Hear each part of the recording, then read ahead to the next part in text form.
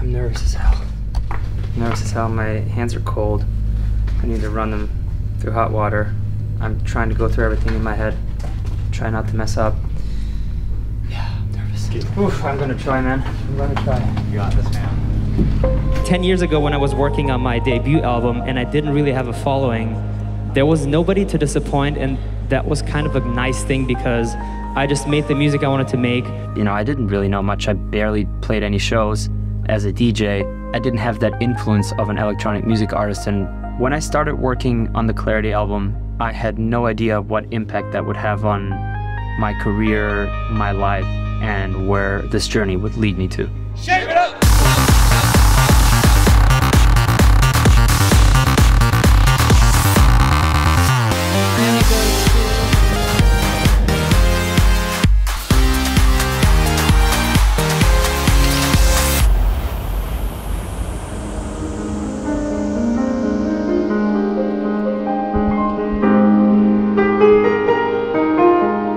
My focus on the Clarity album was the musicality. You know, back then I was still kind of finding my lane, and what I thought would be my lane would be to make electronic music that is very, yeah, classically inspired, but mainly just music driven, more so than production drop driven.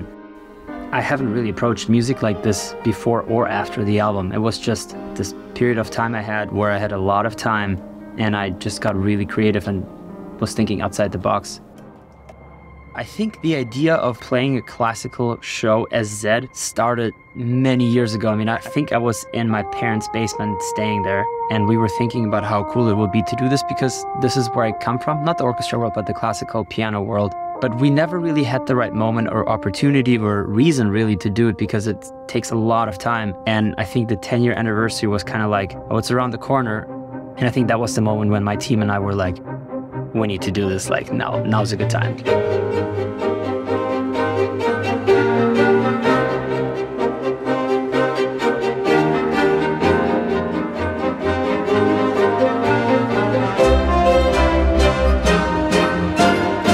I needed a team to help me transcribe my music into an orchestra form that players who have never heard my music before would be able to read and play. Ben is a phenomenal orchestrator.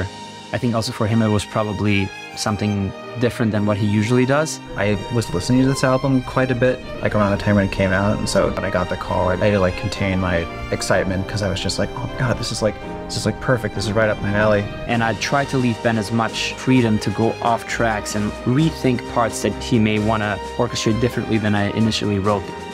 And then once I knew what the timeline was, I kind of choked a little bit because I was like, oh, that's a very short amount of time in order to get a lot of music arranged and orchestrated. From the time we decided to do this until the downbeat on performance day was three months. We jumped on a Zoom and we're kind of like broad stroke thinking, what are we gonna do? How's this gonna work? I will say one thing that I realized this morning. People don't actually know I'm not DJing. All we're saying is that I am performing with an orchestra. There's not going to be no electronic sound at all. Zero. Okay, that's awesome. So, uh, Maxime Ashkenazi. Since last Saturday, when we start rehearsing with Zedd, I'm Max M A X X to match the Z E D D. Well, I'm nervous because your field is a little different than ours, so I think that collaboration will give birth to something new and awesome. Zedd's music was such that we thought this could make for a really great symphonic concert, but he had never done it before, so we knew that was an unknown factor. It was really, really, in a way, difficult show to put together because we're taking a media that is electrically driven and putting it in acoustical medium. And I was also just really excited for the challenge to try and bridge these worlds a little bit too, because that's what I like to do all the time, is do this sort of like cross-pollination of genres and styles from our first Zoom, it was a constant back and forth of Ben basically creating a, a, demo version for me to hear. You know, I would give him notes back and then he would go back and reorchestrate them. And we had like two different languages that we were speaking at the same time because I don't speak the correct terminology that he's in. Yeah, he plays. And not the last one. Right, yeah. I think it would be really cool if all of them play all together.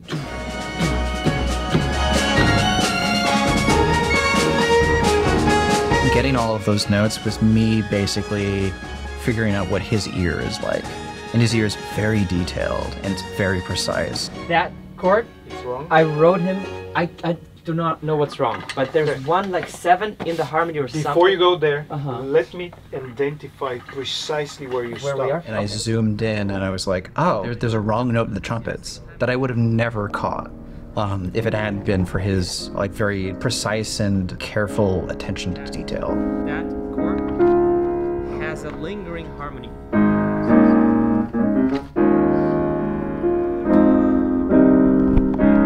That is the chord. Let's see what's playing in the. Even though we walked into a world in which Anton wasn't the most familiar, he wasn't the most knowledgeable, it really didn't take long before he was making his own musical adjustments inside of that ecosystem. Da-dum-ba-dum. I like this kind of language. The great thing too is like the people we worked with were very understanding of what he wanted to do. They were open, they were teachable. So it was cool. It was a learning experience for everyone. Clarity is the biggest hit. It makes sense to talk before that. To me, the music should be speaking, not me. You're welcome to talk if you want to talk. What am I gonna say? Anton wrote this song when he was in Germany in his little room. yeah. In Kaiserslautern. There you go. And he's made it sound like a UFO. It's a different world. Totally different world. And Tony's been doing that for the last 10 years. And working with him was very humbling because he's very down to earth, very um, thoughtful. He came over to my house and we wanted to go through the orchestrations. I wanted to kind of show him what I was planning on playing. Next room. Next concert. That's the Sunday concert. That's the Friday concert. He was kind of reading the charts, we were listening back, and then sometimes he was like, oh, this is gonna sound way better. Push one. Oh, what? And if then the audience are still clapping, then we do an encore.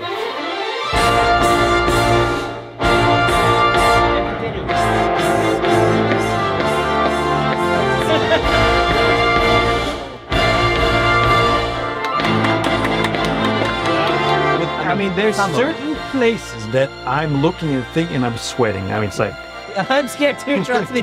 And if you're scared, I'm even more scared. I was like, oh, okay, well, maybe we should just try it.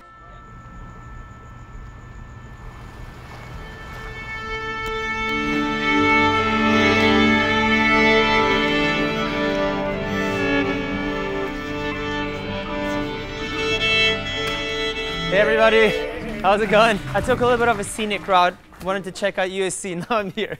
How are you? Nice to see you. Pretty good. Pretty good. Anton had never played with a full orchestra. So he really needed to immerse himself in that experience and really hear where everything was sitting. one, two, three.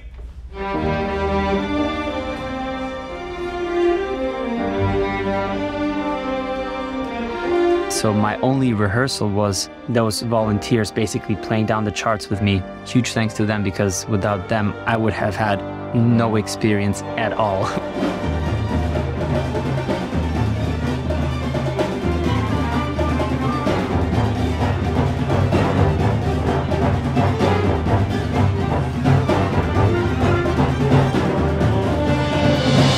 Way harder than I thought, to be completely honest.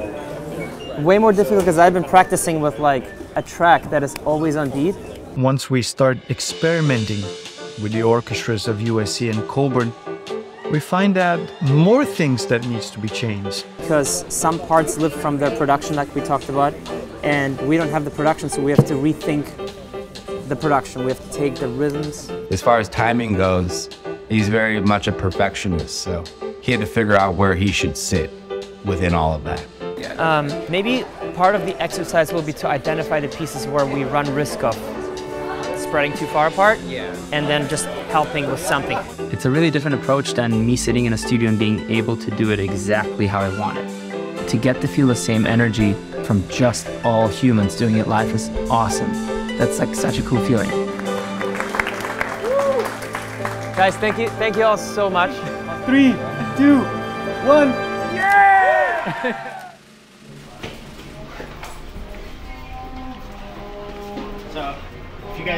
guys need any monitor adjustments, this is your world over here. Oh, that's going to be only. Because of all the people involved, all the space needed, the logistics, the operation itself, our resources weren't in a way that would allow us to lock down for a couple weeks and just rehearse this. The second rehearsal with the professional orchestra was the day of the show, about three hours before the show.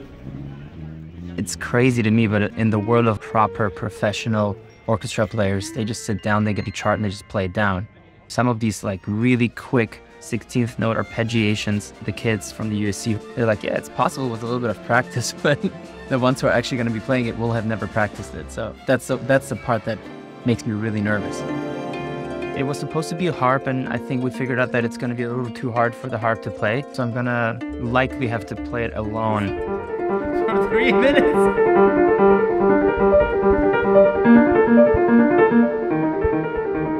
The instrumental songs were surprisingly hard to do because when I have a singer, I want the singer to shine and I want to build around the singer. But when there is no singer, I just go nuts.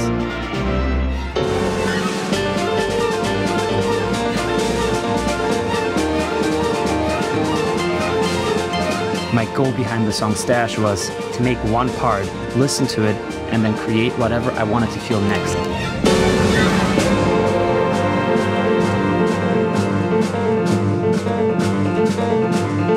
Is like a mini journey. Nothing is repeating, it's always evolving, it's changing.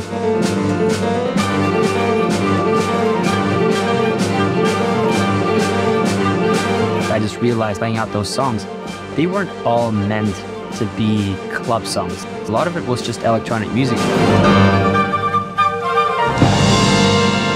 So we shouldn't uh, speed up. I was I didn't know how to slow down.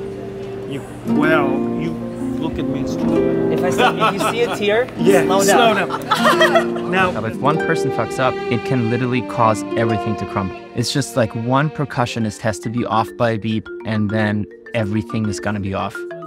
So we're sitting there, you know, the doors are opening in two hours, and we realized that we had to make adjustments on the fly. we were changing things to the very last moment. With many, many concerts, we tend to lower that level of adrenaline to very minimal to survive. But today, it kicked out again. The, the needle Is that on top of that?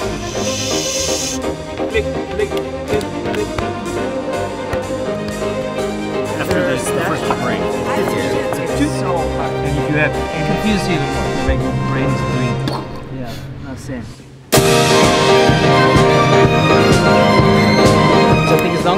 Stay within, whether it's a ride or it's a click, or I'm or you're, you're my click because I can't watch it because I don't know. we were like hawks, me and uh, Anton, listening to each other. You know, I kind of feed off his energy, but then I would lead in terms of tempo and, and, and rhythm, and then he would take what I'm playing and basically lead the entire rest of the orchestra. We almost became one rhythmical body, so we can project that to the orchestra.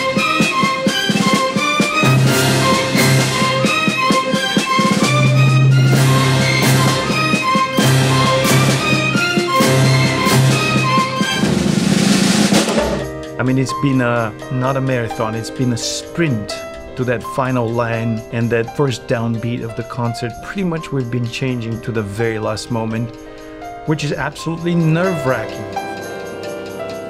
there was a part of me like maybe two minutes before the concert began i was like you know we really haven't accounted for the audience here you know like when everyone started to sit down and you're like do they even know what they're getting into right now There were definitely people in the crowd, and I know this because some of my friends were next to them, that were like, this is pretty cool, but when is he like starting his set?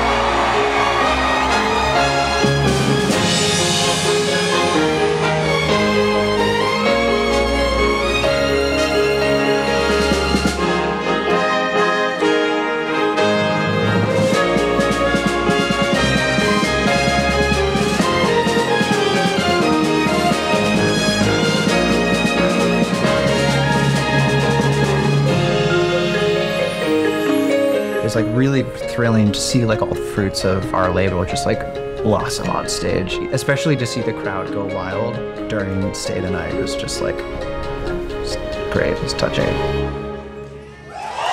You see some fans go from rave mode to like orchestral mode, and yet it be seamless. It wasn't. It was like an experiment for a minute.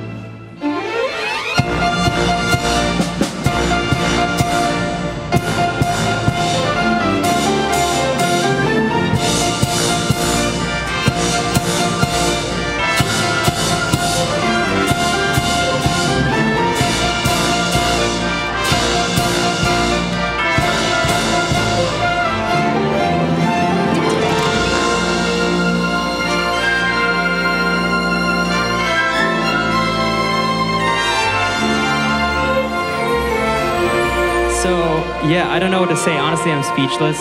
This was such an unbelievable experience. And I think 10 years ago, I said my goal is for my first album, for me to be able to look back and just be as proud of it today as I was 10 years ago. I think it's safe to say I am just, if not more proud of it today, um, thanks to Maxime, Ben, Matt, and Adam, who are part of the team. Um, I guess we're gonna do one more. Let's hear some noise for these wonderful players.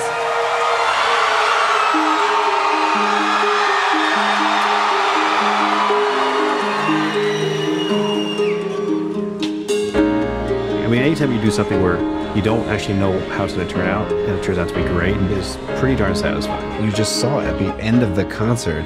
I mean, people are on their phones, standing, going wild. It's, it's meshing of our worlds. So I thought that was truly special for me. It was really awesome to see that the instrumental kind of carries everybody into this song that they are used to. Once the seal was broken and people realized that it's cool to sing along, it was it was magical.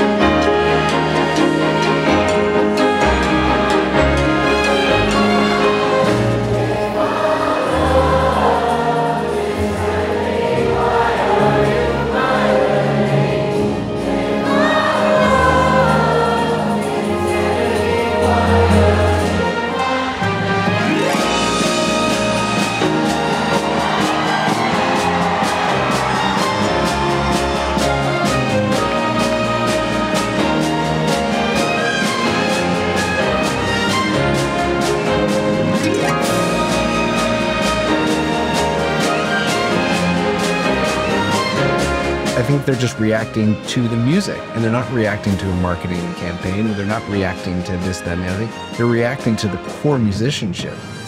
Maxime was ready to keep going. It's like, Maxime, your, your orchestra is leaving. We have no more songs.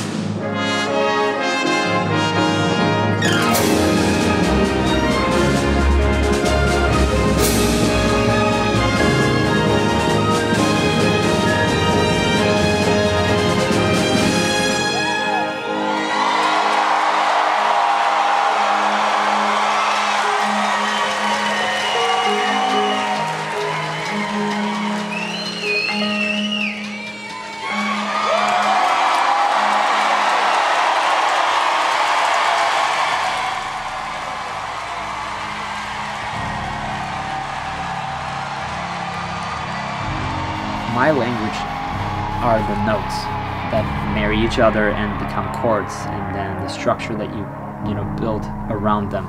Working through this classical arrangement it reminded me of what i wanted to feel making this album and kind of re-taught me to try and create this next album in a similar fashion where i you know just try to approach it from a from a aspect of thinking about it as least as i can.